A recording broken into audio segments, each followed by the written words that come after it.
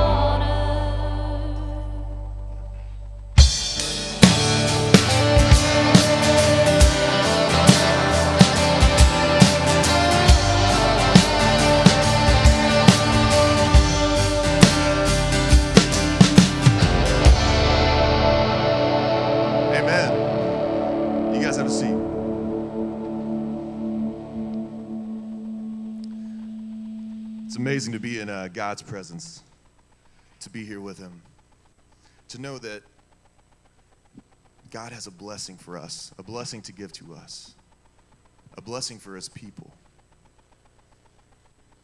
In the Bible, God calls His people the remnant, those that are left over, those that are left to follow Him. God wants our worship. He wants and loves us, but He has so many plans for us. He, he has a desire for our love. And as His children, He wants to bless us continually. Read some words that David wrote in Psalm. Just kind of listen to these and let, let this be your prayer. Let all that I am praise the Lord with my whole heart. I will praise his holy name. Let all that I am praise the Lord. May I never forget the good things he does for me. He forgives all of my sins and heals all my diseases. He redeems me from death and crowns me with love and tender mercies. He fills my life with good things. My youth is renewed like the eagles. The Lord gives righteousness and justice to all of us, to all who are treated unfairly. He reveals his character to Moses and his deeds to the people of Israel. The Lord is compassionate and merciful, slow to get angry and filled with unfailing love. He will not constantly accuse us, nor remain angry forever. He does not punish us for all our sins. He does not deal harshly with us as we deserve. For his unfailing love toward those who fear him is as great as the height of heavens above the earth. He has removed our sins as far as the east is from the west. The Lord is like a father to his children, tender and compassionate to those who fear him. For he knows how weak we are. He remembers we are only dust. Our days on the earth are like grass, like wildflowers. We bloom and die. The wind blows and we're gone, as though we had never been here. But the love of the Lord remains forever with those who fear him. His salvation extends to the children's children, of those who are faithful to his covenant of those who obey his commandments. The Lord has made the heavens his throne. From, from there, he rules over everything. Praise the Lord, you angels, you mighty ones who carry out his plans, listening for each of his commands. Yes, praise the Lord, you armies of angels who serve him and do his will. Praise the Lord, everything he has created, everything in all his kingdom. Let all that I am praise the Lord.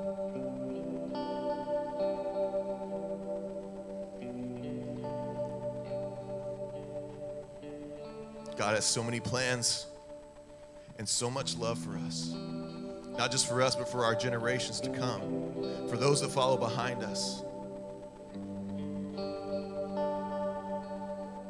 To know the legacy that we have in Christ will continue and continue and continue if we lead in that fashion.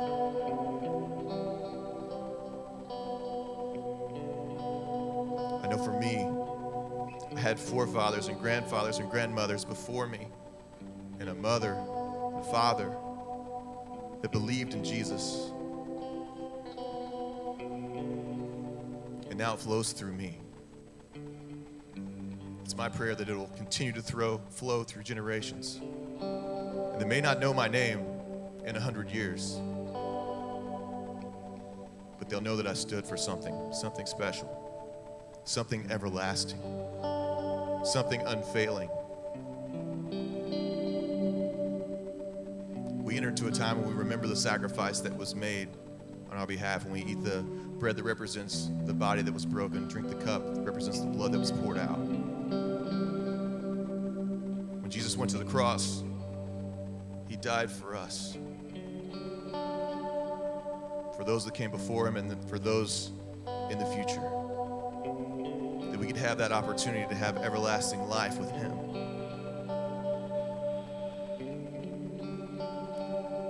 So as we take this, this moment, let us remember that sacrifice. This is your time to lift him up in that special blessing.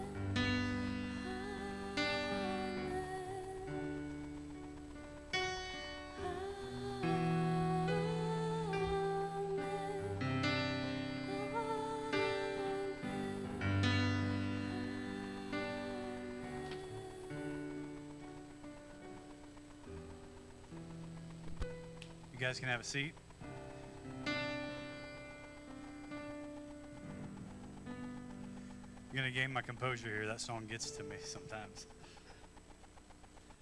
Um, this is the first time I ever played it, so it got me choked up a little.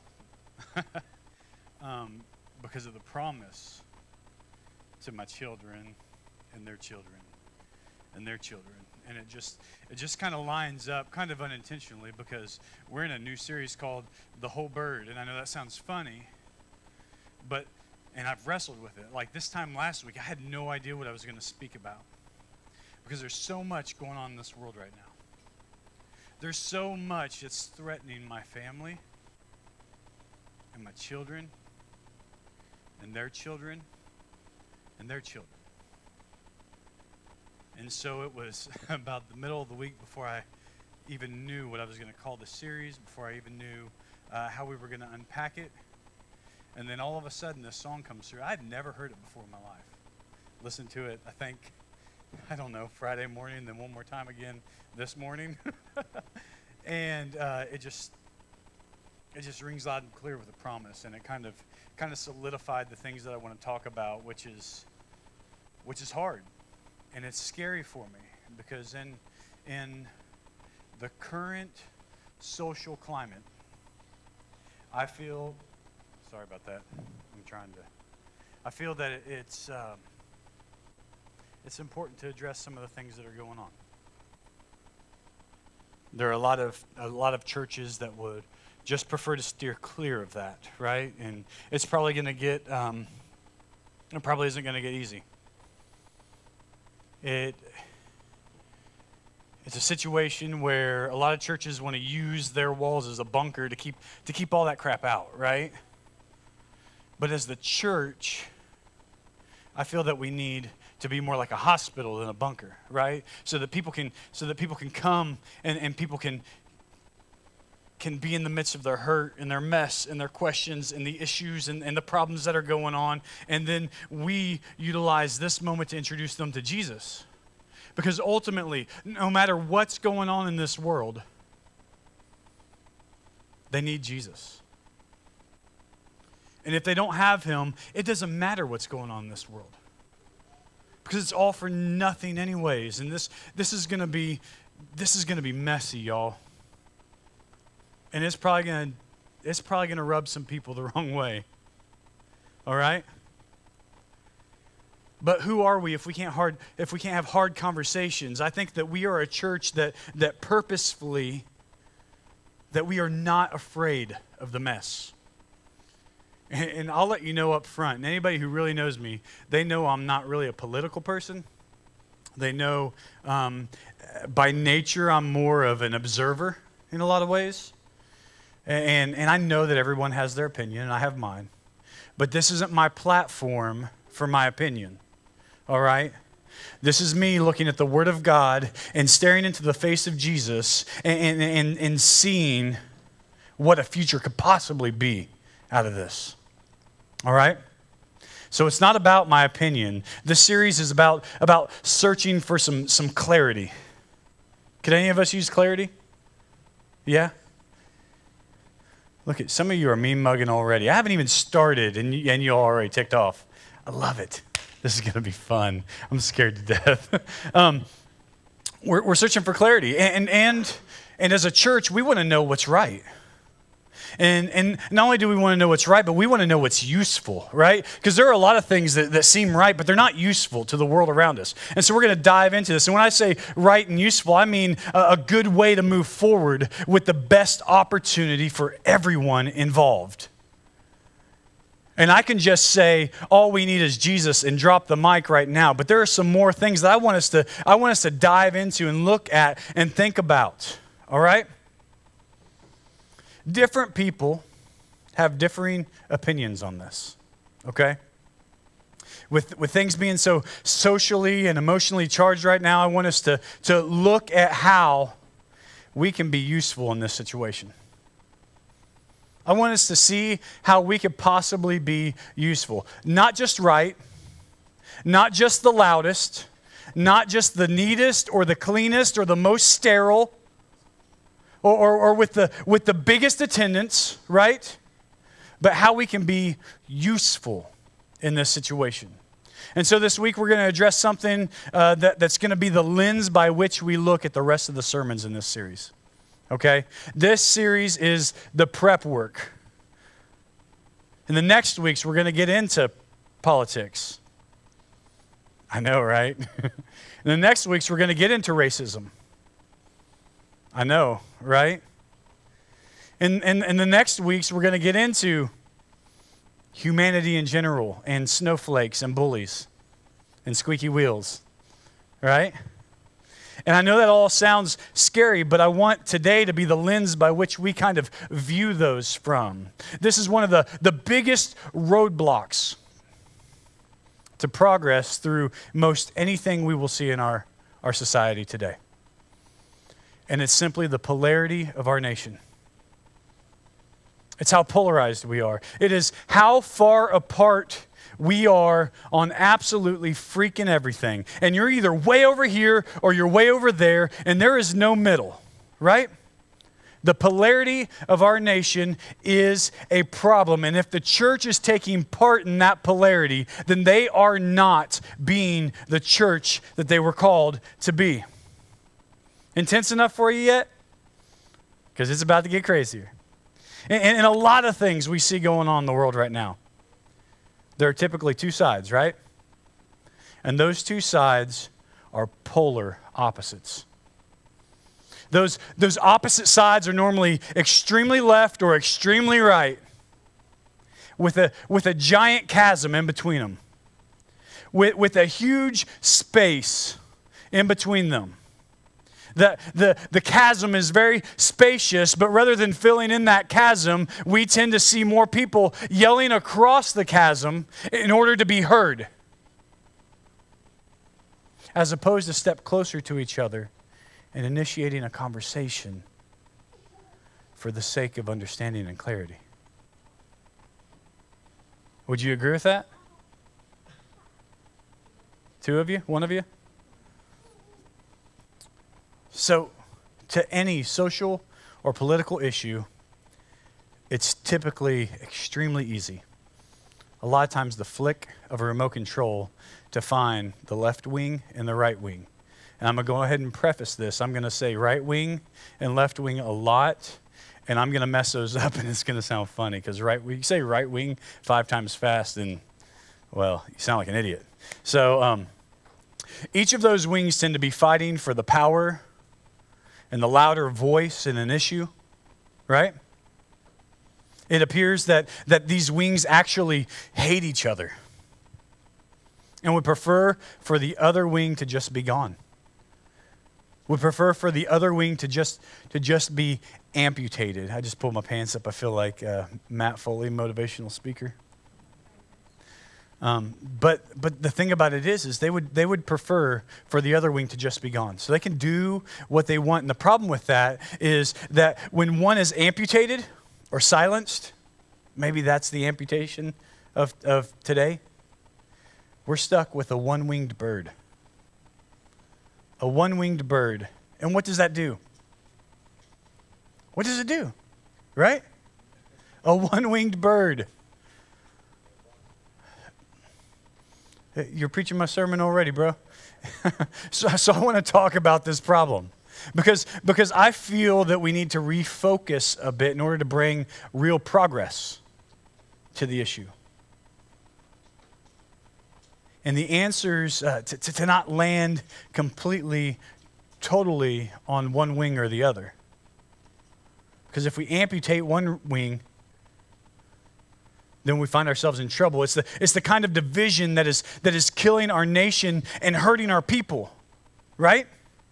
And, and if this kind of polarity continues, we won't survive, and there will be no, there will be no promise from at least this nation for our children and their children and their children.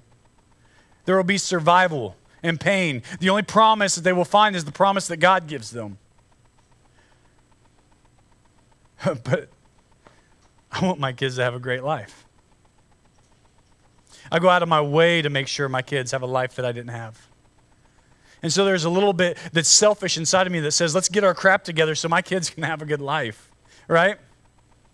It's that kind of division that's killing the opportunity and the hope for our children and their children.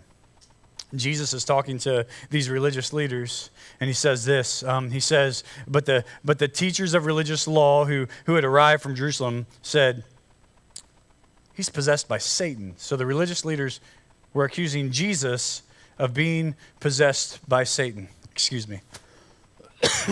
I promise that wasn't a COVID cough, okay? Uh, he's possessed by Satan, the, the prince of demons. That's where he gets the power to cast out demons. And Jesus called him over and responded with an illustration. He says, How can Satan cast out Satan? He asked. A kingdom divided, and when you listen to this, a kingdom, a nation divided by civil war will what? Collapse. Now, through history, we've seen nations rise and fall, and it has typically beca- become because of this, right? Similarly, a family splintered by feuding will fall apart. And if, and if Satan is divided and fights against himself, how can he stand?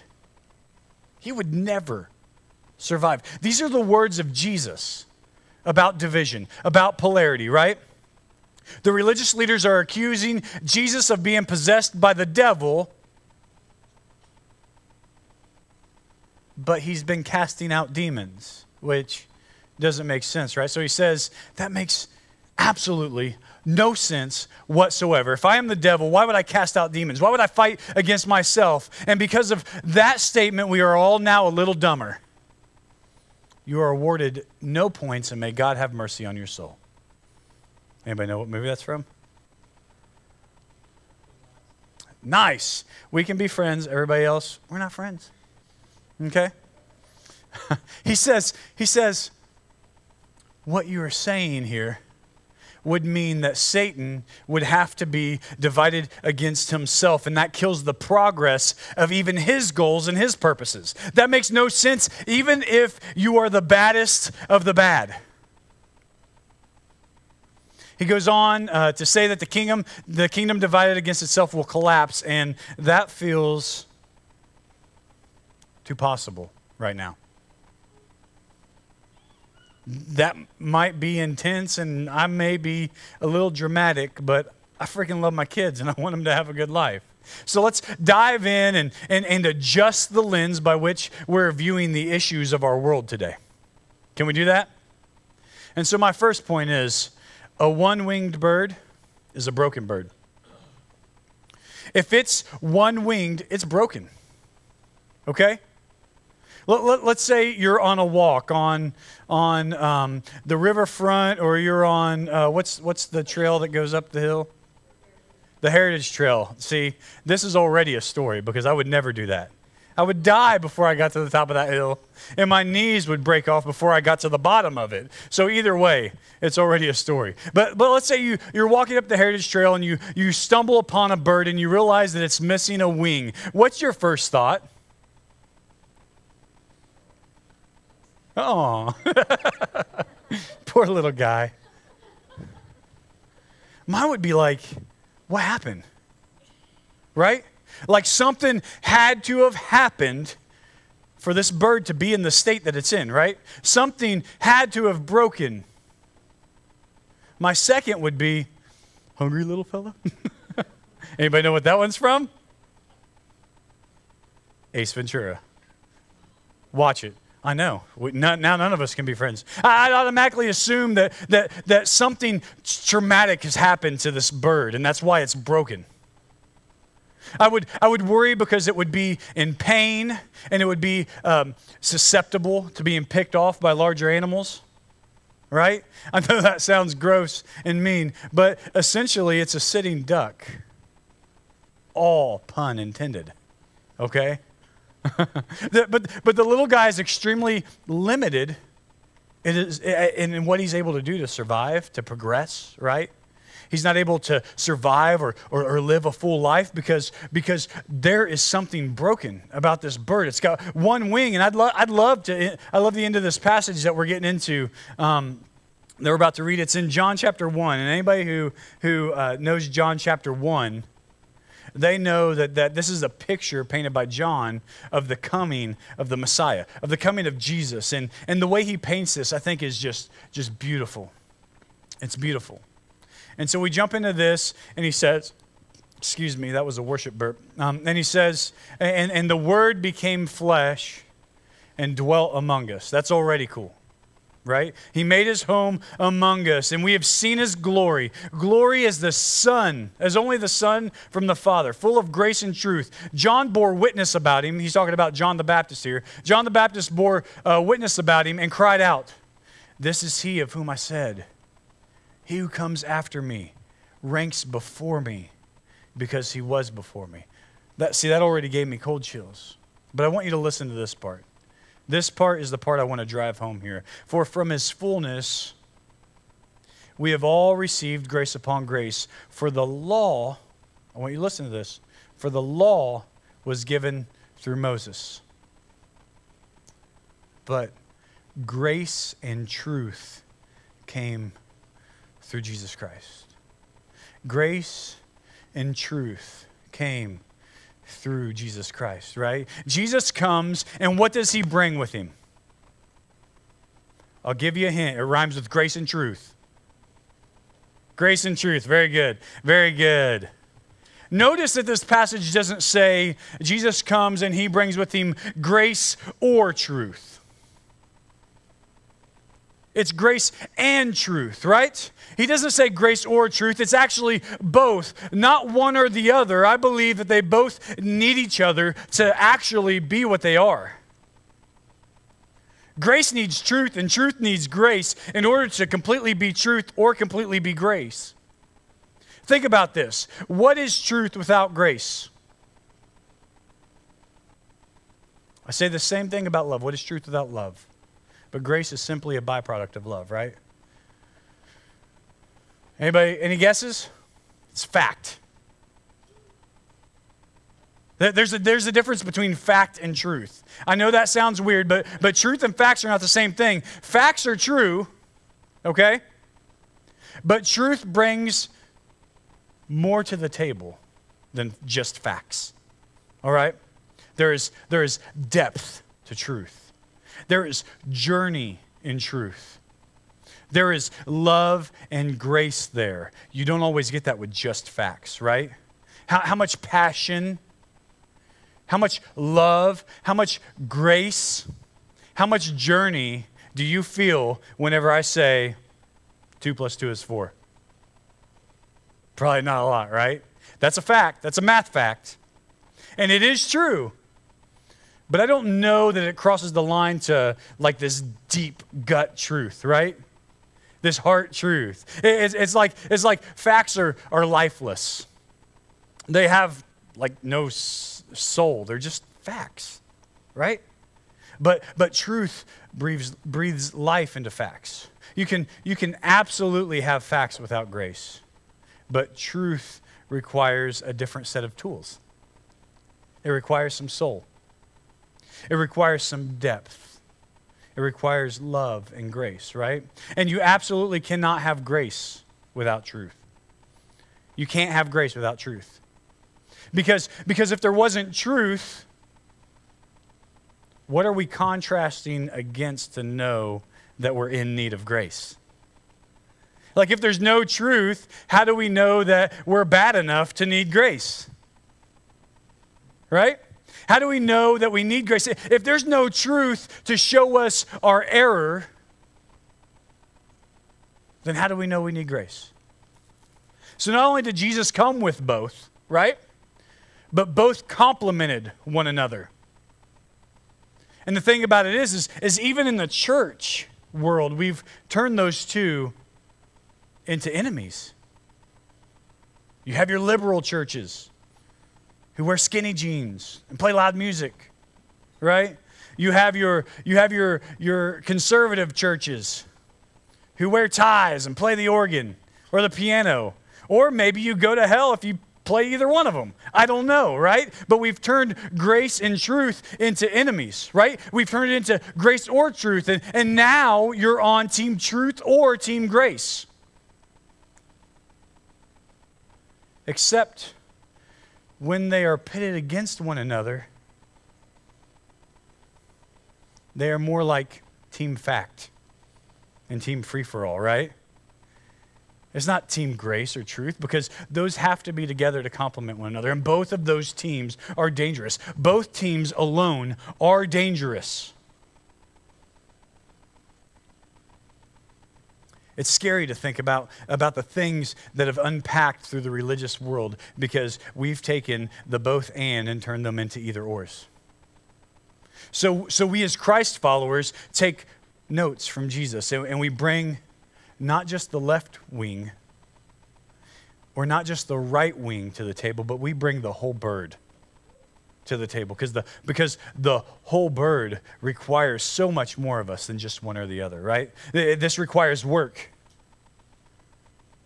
which we're not typically in favor of. It requires humility, which is another thing that we're not quite in favor of, right? It requires truth and grace, not truth or grace, right? And this begins a conversation, I believe. A conversation, not a yelling match, but a conversation.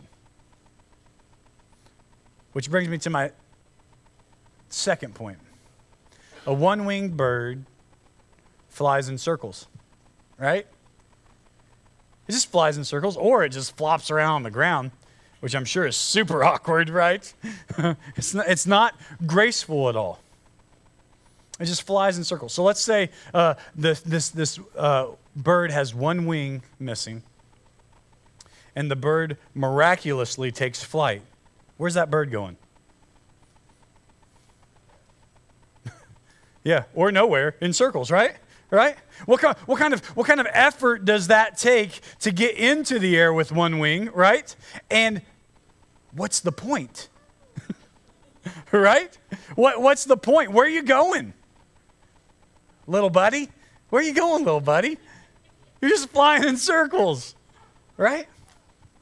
It doesn't really go anywhere. It kind of just flops around violently and it just flies in circles. And its, and its only goal was to fly, essentially to get above where it was, to be louder than the other, right? And, and now that it's off the ground, the only thing it does is constantly revisits where it has been right? Constantly revisits where it has been. It gets going and it feels like it's making progress, but all of a sudden they're like, I, have I've seen this before, right? I, I, it's deja vu all over again. And, and it constantly goes where it's been over and over and over again. There's no progress for this bird, just energy and effort spent. That's it. And to what end? Imagine, Jesus has spent the last three years teaching this, this group of guys, loving them, nurturing them, feeding them, correcting them. And he's teaching them to change the world, to be the change that the world needs. All right? And then he dies, he's buried, he resurrects, he's, he's about to leave for heaven, and this is what he says to his disciples. All right? He says, it says, Jesus came and told his disciples, I've been given all authority in heaven on earth. Now, I want, I want to stop there for a second. All authority in heaven on earth. That means at this moment, he is the most powerful being in all of creation. Okay? The most powerful being in all of creation, not just on earth, but in the universes. Not just universe, but universes. I think that's plural for universe. Universi? Right? Um, so he, he's at his most powerful, and he says this Therefore, go. Go and make disciples of all the nations, all the nations, baptizing them in the name of the Father and the Son and the Holy Spirit. Teach these new disciples to obey all the commands I've given you. All right? There's truth. right? And be sure of this I am with you always. There's grace. Because could I go through this? Could I go through the things that I've gone through in my life if I didn't have Jesus with me always? Uh uh Even to the end of the age. That means forever. So, so at, at, at the, the pinnacle of his power, he says to his boys, Go, go somewhere, make progress. Forward motion is a must. Don't just fly in circles and revisit everything that we've seen because I'm not going to be around to, to, to save your butt when you're walking on water and you sink. I will be here, but I'm not going to be here in that fashion, in that way. So go. Don't sit and talk and yell and debate and politicize. Go. Think about it. Up, in, uh, up, until, up until the point of the day of Pentecost and the, miss, the missionary journeys of, of the Apostle Paul and some of the other apostles, the gospel was fairly local. It was, it was more of a regional thing, a national thing, right? It, it could only be obtained in its, in its fullness by the Jews. It wasn't until later that the Gentiles and the rest of the world w- had their opportunity and their taste of salvation. So Jesus tells them to go, to move forward. Can, can you imagine if they had just sat and, and, and fought about what the best route to Asia Minor was? Well, no, I think through the mountains would be better. It's shorter. I know there's elevation issues, and then they just sit and fight about it. Or I think we should go around. Or maybe we should take the scenic route and catch us some, some ocean time so we can have a, a little layover at the beach and hang out and chill and rest. Because God said Sabbath is important, right? Imagine if they spent all their time fighting about how to get to Asia Minor. There'd be an entire nation of people who missed out on the gospel, the good news, the fact that Jesus came died, was buried, resurrected, defeated sin, hell, and death, and now we have a taste of salvation. And don't get me wrong, there were disagreements. There were, there were arguments amongst the apostles. But when push came to shove, the real leaders made sure to advance the message of the gospel. They made sure that progress was made. Jesus commanded them to advance the good news, not to fight over who was the one in charge. No, not hold debates or, or spend resources on feasibility studies on which version of the gospel is the best version of the gospel. The best version of the gospel is the real one. And the real one has both truth and grace, not just one or the other. And, and, when it is grace or truth, you have two different versions of the gospel, and both of them are wrong. So you have two birds that are wrong. Two birds that are going nowhere now. You got one with just a left wing and one with just a right wing. Sounds like an order at KFC. Um, they're getting nowhere, and they're both flying in circles. Which leads me to my final point. When birds circle, that typically means that something is dead, dying, or rotten. Right? So when you see a bunch of buzzards flying in circles, what do you typically think? Oh, no. right? What, what, do you typically think? Yeah, something is dead or they know it's about to die, so they're circling so they can swoop in. I don't know if you guys know this, but um, I'm a Jeep man.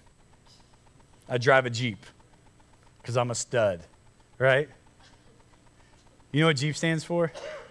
Just empty every pocket because something's always wrong with that stupid thing, right? Right now, um, it's warm, it's nice. I have the doors and the top off, and, and it's cool to go cruising and creaking. It is amazing, right? You can kind of feel all the feels, and you can, uh, you, you can feel the sun on your skin and the wind blowing. You drive down a little dip or, or a valley, and you can feel the temperature change. It's really, really nice. Another thing that you get with a Jeep is that you can also smell all the smells. Farms are just a little more farmy, you know, when you don't have doors. Skunks are just a little more skunky. when, when you don't have doors. Uh, I always hate whenever I'm driving in my Jeep and the doors are off and the top's off and I see a buzzard in the middle of the road. Because that means they are eating something that has been hit. A little rabbit, raccoon, possum, perhaps a moose. Uh, there's no moose here. Anyways, um, uh, which means it's going to smell. It is, it's going to stink. I'm going to smell the smells of that raccoon that's been baking on the road for a day or two. Right? You smell the smells. It's gross. The, buzz, the buzzards, they tear that carcass apart and, and they spread it all around the road. They gain nourishment from the demise of others. That's like what a buzzard does. They see peril as an opportunity to fill their stomachs and take full advantage of it. Heck, heck, they will risk being hit by oncoming traffic for just one more bite. How many of you guys have ever hit a buzzard or narrowly missed a buzzard because they just wanted one more bite? Because they're selfish, right? Jesus uh, um, addresses some of these buzzards or vultures in Matthew chapter 23. It says, it says, What sorrow awaits you, teachers of religious law, and you Pharisees, you hypocrites! For, for you're like whitewashed tombs. You're beautiful on the outside, but filled on the inside with dead people's bones and all sorts of impurity. You're rotten, right? Outwardly, you look like righteous people, but in, inwardly, your hearts are filled with hypocrisy and lawlessness. Ultimately, you're not even standing for what it is that you're supposed to be standing for. Now, the religious leaders were about one thing. Do we know what that was? The law, right? That's what they were about. They were about the law. But they also leveraged that law to make sure that their stomachs stayed full like vultures, like buzzards, right? To the point that they even killed the Son of God. They hung him on a cross and murdered him. That was their, their proverbial last bite before the takeoff, right? The, the law, it came from Moses, which was, which was given to Moses by God in the form of how many commandments? Ten commandments, right? The religious leaders had, had managed to pervert the law so much that they had over 600 more laws and amendments that made things virtually impossible for everybody. Nobody could win this game. This gave them power, and this, this, this filled their pockets. Uh, the more sin, the more sin offerings. The more sin offerings, the more money. The more money, the more power. So Jesus says, You guys are dead on the inside. You feed off the peril of others. Essentially, you're vultures who are waiting for people to screw up. You're just circling, right? So you can get more money and more power. Outwardly, you look righteous, but inwardly, you're rotten. You're dead. They were not about truth and grace, they were about fact. Fact is, we're the ones in charge, right? And Jesus tells them that it's all disgusting what they're doing. It's disgusting. But before I wrap this up, we also need to understand that, that Jesus, in spite of their, their inward decay, in, in spite of, of how disgusting they were, he still offered them the same thing he came packing with grace and truth. The truth was that he was going to die for them And they, through him, even though they were terrible people, had the opportunity to be saved. That was the truth. All right? That's also fact. but that was the truth. And the grace part was they deserved to rot. They did. They deserved to rot. But Jesus died for them anyways. I deserve to rot. But Jesus died for me anyways. And, and he gave them the same opportunity that we have to have life eternal. So, how do we lean in? How do we squeeze in and make room for both? How do we squeeze in and make room for truth and grace? How do we squeeze in and make room for right and left? Because I think that's where you get both. That's where you get the and, the both and, not the either or. Because it is my belief that if you are only right, then you're wrong. And it's also my belief that if you are only left, then you're not right. I mean, seriously. Because the only way that we will be able to move forward, to progress, the only way that we can honor this great commission where Jesus, at the pinnacle of his power, says, Go, is if it means that we stop villainizing the other wing. And we begin progressive conversations. Jesus brought both and, not either or. In church, as long as I'm the pastor here, as long as I'm the lead pastor, that's what we need to bring to the table. And if we're not going to do that, then I don't need to be your pastor. If we're not going to do that, then I don't want to be your pastor. Because I'm interested in progress, not the volume of my voice, and not the power that comes with being right. And we as a church need to be interested in those same things. So we bring to the table both and, not either or. Father, we thank you so much for this day. We thank you for the fact that, that you brought grace and truth, not just one or the other. Not just rules that, that we can't possibly live up to, and not just chaos, not just a free for all. Father, I thank you for the fact that, that you've given us community, you've given us relationship, you've given us hope and peace and grace, and the opportunity to have progressive conversations, and you've given us the command to go. Father, help us to be like you. Help us to bring truth and grace. Lord, we love you. It's in Jesus' name I pray. Amen.